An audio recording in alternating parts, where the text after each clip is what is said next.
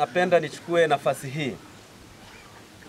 Kwa namna ya kipekee kuweza kuwapeni pole sana, pole nyingi na pole sana za tukio ambalo limetokea juzi lililopelekea kutukusanya na sisi hapa la vifo vya Watanzania wenzetu wanne, ambapo nimeambiwa kati ya hao mmoja ni mkulima na wengine watatu ni wafugaji. Kwa hiyo poleni sana ndugu zangu Wanamtumbo. Hiki kilichofanyika, jeshi la polisi halikubali hata kidogo, na hata serikali haikubali vitendo vya namna hii hata kidogo. Ni vitendo ambavyo jeshi la polisi linavilaani kwa nguvu zote, na ni vitendo ambavyo vimefanyika vya kiuhalifu vya baadhi ya watu wachache kujichukulia sheria mkononi za kutekeleza matukio haya ya mauaji. Na msingi wa matukio haya ni hii migogoro iliyopo baina ya wakulima na wafugaji ambayo inapelekea baadhi ya watu kutokufuata taratibu ambazo zimewekwa. Sasa mimi kama mwenye jukumu la kulinda maisha ya watu na mali zao, hatuwezi kuvumilia matukio ya namna hiyo ya watu wachache kujichukulia sheria mkononi.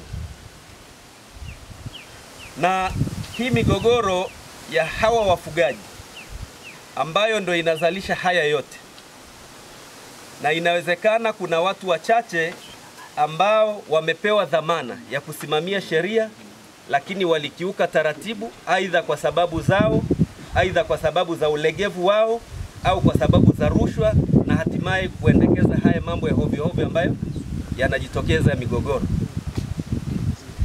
Sasa inawezekana kuna makosa yamefanywa na watu kuweza kuruhusu hawa wafugaji na kuingia, na hatimaye wameota mbawa sasa na kuanza kuleta vurugu na kufanya vitendo vya ubabe maeneo ambayo hawakuruhusiwa. Kwa hiyo jeshi la polisi tunaelekeza kwamba kila mmoja anapaswa kufuata na kuheshimu sheria za nchi, na kama kuna wafugaji ambao wameingia kwenye maeneo nje na utaratibu, ni vizuri wakafahamu nchi hii ina sheria na inaongozwa kwa utaratibu wa kisheria, wakafuata sheria ili amani iliyopo na usalama uliopo uendelee kuimarika. Kwa hiyo basi, ninasema kwamba hili tukio liliyotokea liwe ni la mwanzo na la mwisho, liwe ni la mwanzo na la mwisho la watu kufanya namna hiyo. Mkulima yule umri wake ni wa miaka 44, 42, bado ni kijana na taifa na familia yake inamtegemea. Wale wa jamii ya kifugaji, mmoja wa miaka 11, mwingine mwenye umri wa miaka 13, mwingine wa miaka 14, 18, ni vijana wadogo ambao bado nao taifa linawategemea. Kwa hiyo haya yaliyotokea kwa watu kujichukulia, mshe, she, she, kujichukulia sheria mkononi ndugu zangu wa kijiji cha Gulioni na mkoa wa Ruvuma kwa ujumla na mikoa yote nchini, hatutavumilia vitendo vya namna hii hata kidogo. Na ninayasema haya kwa sababu jeshi la polisi ndilo nalowajibika kuhakikisha usalama wa raia na mali zao. Hao wafugaji ambao wanaingia kwenye maeneo ya wakulima, inasema wafuate utaratibu. Umeamua kuwa na mifugo fuata sheria na taratibu za mifugo. Unatoka huko kuja kufuata maji sijui kwenye vyanzo vya mito, umeamua kuwa na mifugo maeneo uliopangiwa huko, chimba malambo ili ubaki na mifugo yako huko huko, kama maeneo hayo yapo yaliyowekwa hivyo. Lakini hatutavumilia namna hii watu kupoteza maisha. Napenda niwahakishie wananchi wa Gulioni na Namtumbo kwa ujumla hawa waliofanya matukio haya watasakwa kwa udi na uvumba na watapatikana popote pale walipo.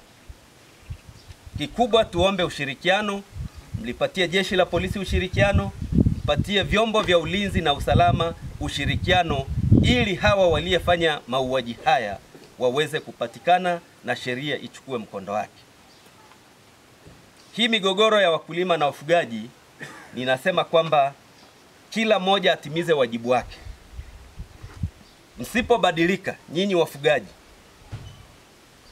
serikali haitasita kuendesha operesheni kali ya kuwaondosha na kuwapeleka mahali ambapo mnastahili. Vinginevyo hatuwezi kuruhusu watu wakawa na ubabe ubabe na kufanya kama vile nchi haina watu wa kusimamia hizi sheria. Vyombo vya sheria vipo, vyombo vya dola vipo. Kwa hiyo napenda niwahakishie ndugu zangu, usalama uliopo utaendelea kuimarishwa na mtembee kifua mbele, vyombo vya usalama vipo.